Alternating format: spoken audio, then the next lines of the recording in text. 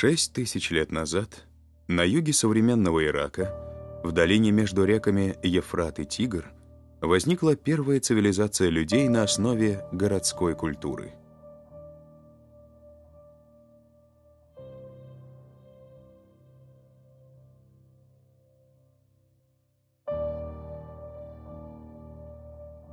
Еще раньше здесь, на насыпях среди болот, проживали племена эл-убейцкой культуры.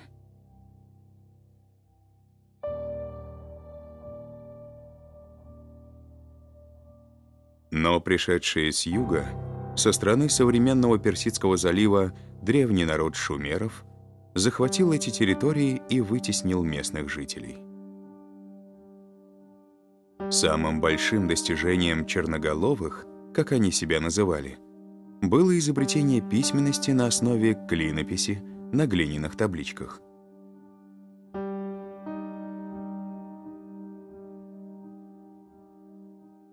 Шумеры принесли с собой свой пантеон богов в рогатых шапках, который стал основным для всей Месопотамии. Эти боги дали знания шумерам и защищали их от бед. Они были стражами Шумера.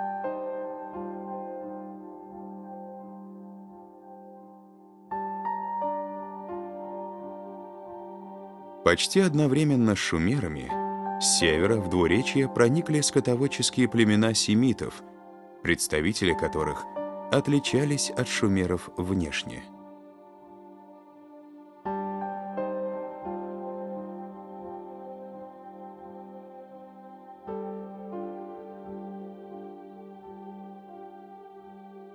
Эти два народа сыграли важную роль в истории Месопотамии и всего человечества.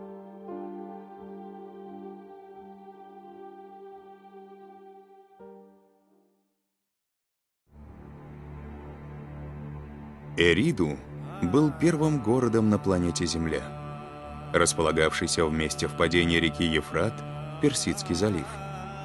Согласно шумерскому списку царей, он был первой столицей Шумера. Руины города представляют собой останки храма, посвященные главному городскому богу Энки, принесшему, по утверждению людей, цивилизацию на земле Шумера. Рядом с Эриду стали возникать другие города, где главными божествами были свои боги. Согласно шумерскому эпосу, верховный бог Энлиль организовал потоп с целью уничтожения греховных людей. Его брат, бог Энки, сообщил праведному человеку Зиусудре об опасности. Зиусудра вместе с семьей и домашними животными спасся с помощью специально построенного судна.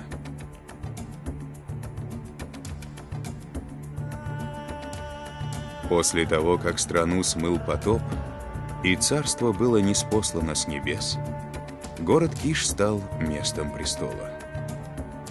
Другие исторические источники подтверждают, что после потопа Этана стал двенадцатым царем шумерского города Киш.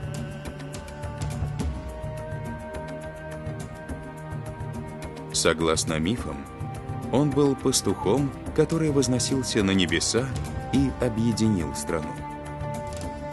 Царь Итана верхом на орле поднимался к богам, а потом вернулся в свой город для продолжения царствования.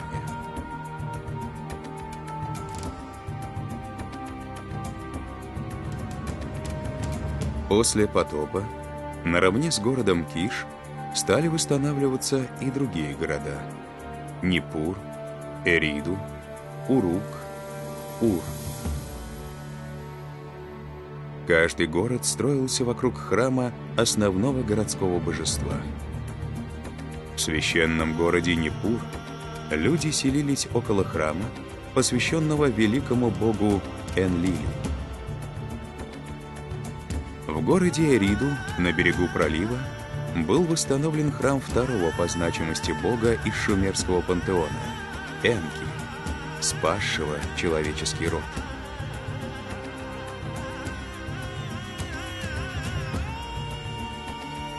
Люди с благодарностью относились к богу Энки за спасение и устраивали праздники в его честь.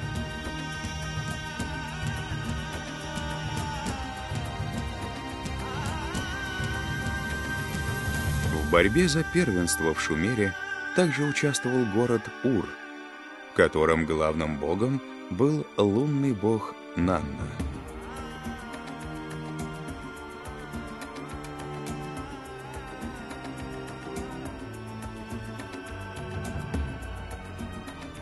Но главным соперником Киша за верховенство в Шумере был город Урук, где городским божеством была богиня Инанна, а основной храм был посвящен ей и небесному богу Ану.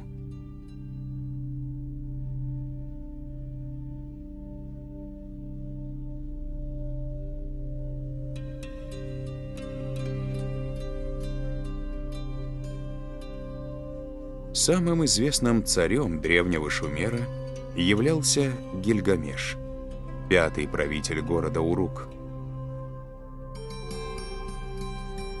История его жизни описана на глиняной табличке, найденной археологами.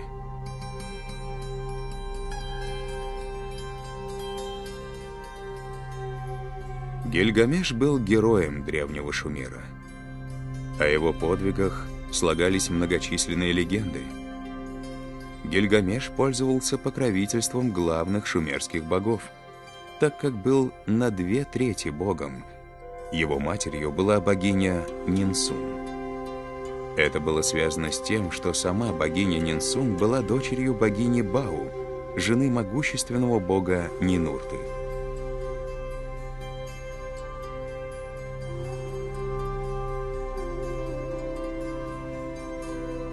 Гильгамеш пытался найти бессмертие, которым обладали боги, и в процессе своих путешествий повстречал великую богиню Инанну. Богиня влюбилась в героя. Но Гильгамеш отказался от ее любви, зная, что после священного брака его ждет смерть. Хотя Гильгамеш и его друг-человек Энкиду имели опыт в борьбе с божественным чудовищем Хумбабой, разгневанная богиня в наказание за обиду наслала на них небесного быка. Друзья победили его, но Энкиду должен был умереть.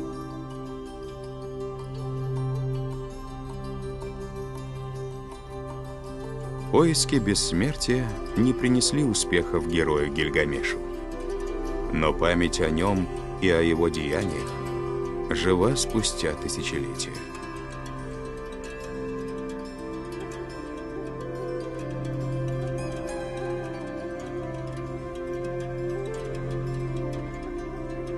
Дальнейшем в борьбу за власть в Шумере вступили города Лагаш и Гирсу, в которых главным божеством был бог Нинурта или Нингирсу, сын и преемник верховного бога Энлиля.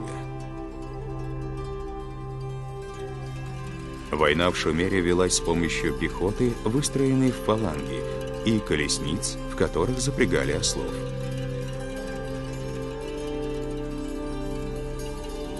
Победитель в войне пленил воинов, захватывал скот и другую добычу, как показано на знаменитом штандарте из Ура.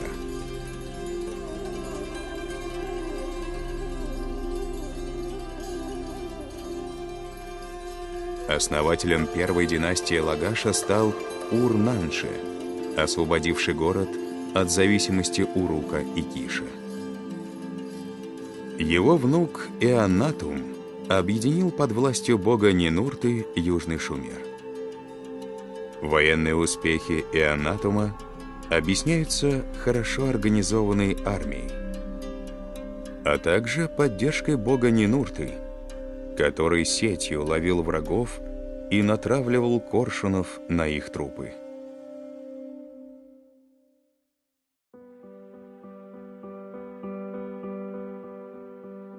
В дальнейшем богу Нинурти служил Энанатум I и его сын Энтемена, имя которого упоминается на серебряной вазе, посвященной богу Нинурти.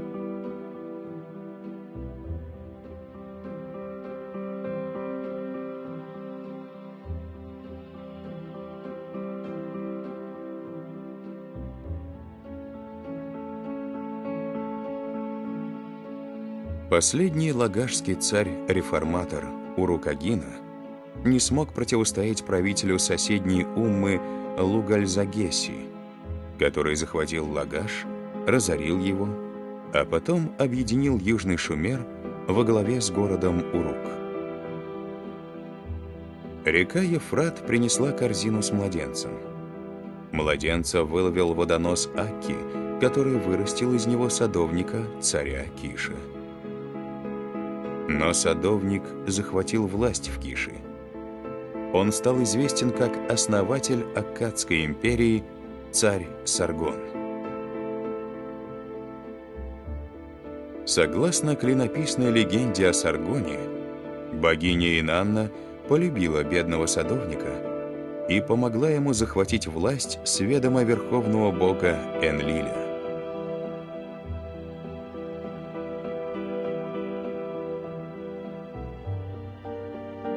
Саргон был восточным семитом. Это кочевое племя с давних времен заселяло Северный Шумер.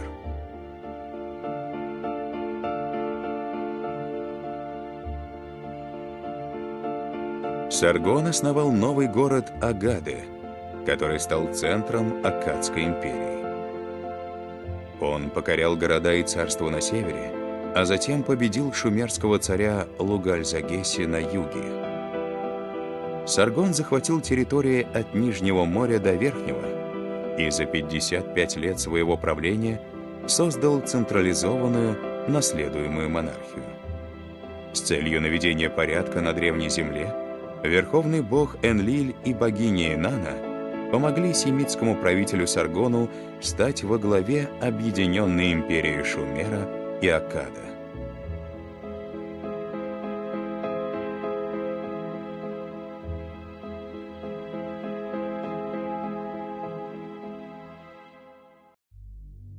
В конце жизни Саргон разрушил Вавилон, центр культа бога Мардука.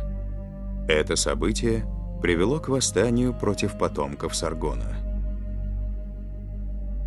Его сыновья Ремуш и Маништусу на протяжении своих правлений подавляли одно восстание за другим.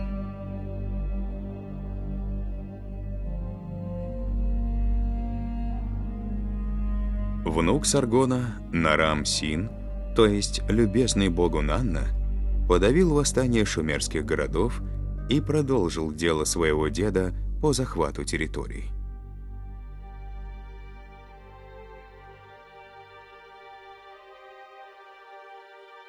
Победная стела Нарам Сина изображает победу акадских воинов над племенем Лулубеев в горах Загрос.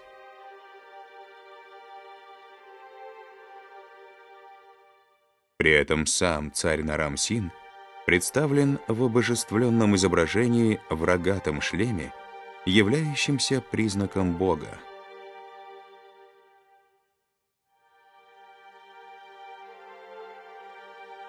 В конце правления Нарамсина произошла катастрофа.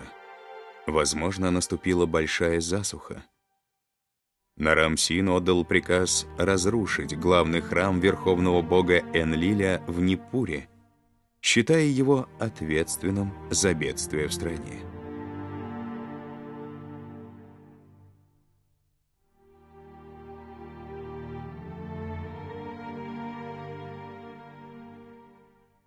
Земледелие, основа шумерской экономики, не смогло удовлетворить потребности населения в продуктах – Повсеместно в Месопотамии наступил голод.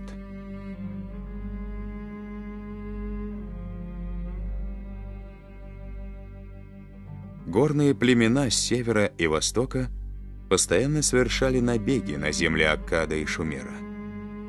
Но после разрушения храма бога Энлиля племена Гутиев, направляемые богом Нинуртой, начали постепенно захватывать территории империи со стороны гор Загрос. Как говорится в клинописном эпосе «Плач об Аккаде», боги приняли решение уничтожить город в отместку за разрушение храма.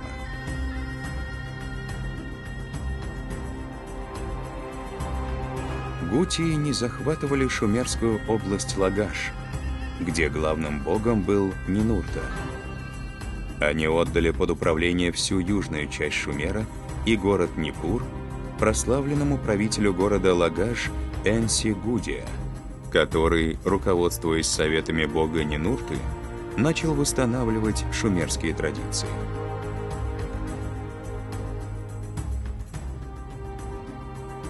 Гудия, то есть призванный, имел божественное происхождение, так как был рожден в священном браке.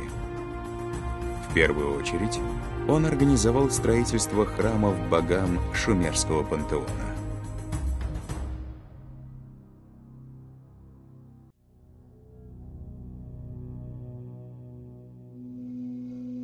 Согласно клинописным текстам на глиняных цилиндрах, Гудия в видении или во сне получил указание от бога Нинурты построить храм 50, Энину в Лагаше. Бог Нинурта и его супруга богиня Бау были главными богами городов Лагаш и Гирсу. Гудия во сне получил от них чертеж храма и формы для кирпичей, которые материализовались когда правитель очнулся. Выполняя волю бога Нинурты, символом которого была львиноголовая птица Имдугут, Гудия выстроил храм согласно инструкциям бога. Лагаш процветал, платя дань Гутиям.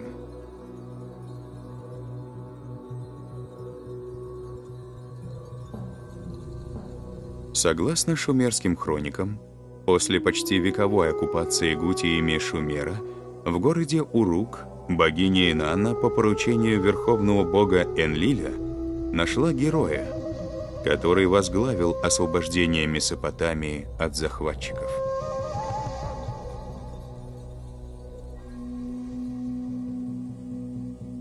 Борьбу с гутиями возглавил Утухингаль, стоявший во главе города Урука.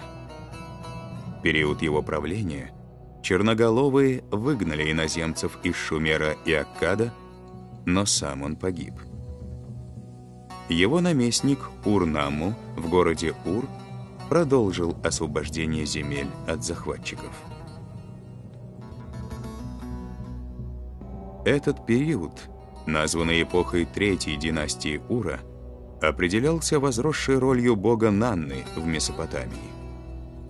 Урнаму начал строить зиккурат для бога в главном городе Ур.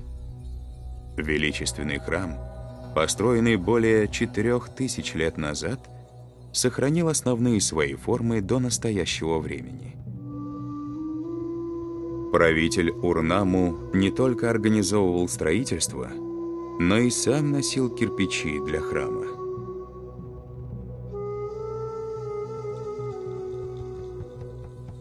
Святилище лунного бога Нанны, которого позже в Вавилоне не назвали Сином, находился на верхней ступени Зиккурата.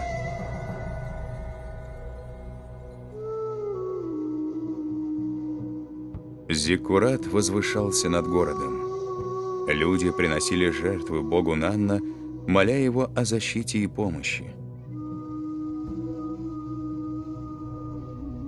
Поднимаясь по главной лестнице огромного зиккурата, жрецы пели хвалебные гимны в честь бога Нанны.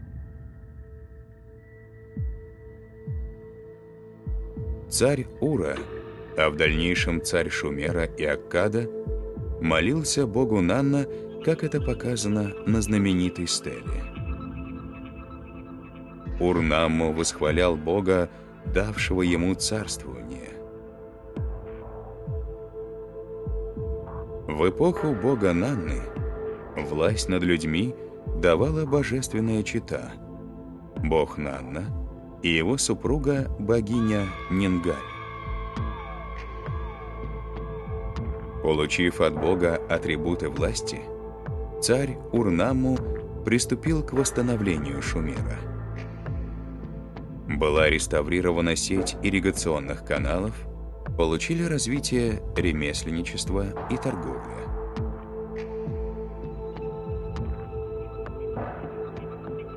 Урнаму восстановил храм великого бога Энлиля в Непуре. Был разработан кодекс законов, действующий во всем Шумере. Но захватив Лагаш, подконтрольный богу Нинурти, Урнаму совершил ошибку. В битве с врагами шумеров могучий воин Нанны упал с колесницы и был раздавлен ее колесами. По велению бога Нанны царем Шумера стал сын Урнамму Шульги, правивший более 40 лет. При нем границы царства расширились до Верхнего моря. В конце своего правления он обожествил себя и стал осквернять древние ритуалы. Но преемникам Шульги, Амарсину и Шусину пришлось отражать атаки племен Амареев, которые двинулись с запада в Месопотамию. Их бог Набу, сын великого бога Мардука, направлял эти дикие племена кочевников на Шумер. Последний царь Шумера, Иббисин, уже сражался на два фронта. С севера с Самареями, а с востока с Эламитами, которые покорили Ур. Амареи захватили Шумер. На месте города Вавилон возникло семитское царство Вавилония. Главный бог нового царства — бог Мардук.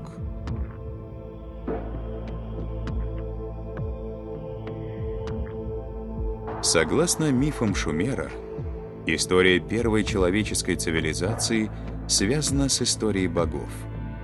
Головой Шумера Акадского пантеона был небесный бог Ану. Его представителем на планете Земля был его сын, бог Энлиль, основной храм которого был в Непуре. Бог Энки управлял африканскими землями, но его храм располагался в Эриду. Богиня Нинхурсак, сестра богов Энлиля и Энки, создала из глины первых людей. Бог Нинурта управлял в Лагаше, его храм был выстроен в Гирсу. Лунный бог Нанна имел свои храмы в Уре и Харане.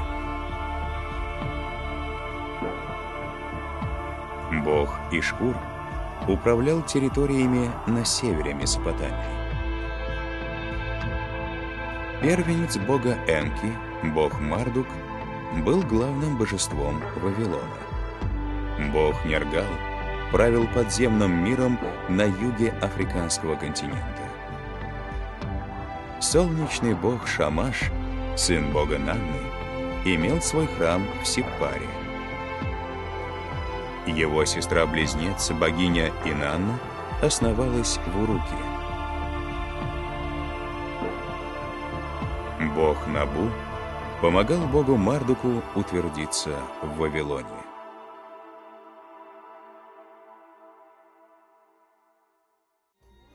Основные боги этих двух кланов, а также множество других богов, примыкающих к тому или иному клану, враждовали между собой. Согласно шумерским мифам, они сталкивали людей в борьбе за контроль в Месопотамии. Но постепенно влияние бога Мардука в конце существования Шумера становится определяющим. Вавилон во главе с семитским царем Хамурапи становится главным городом в Месопотамии.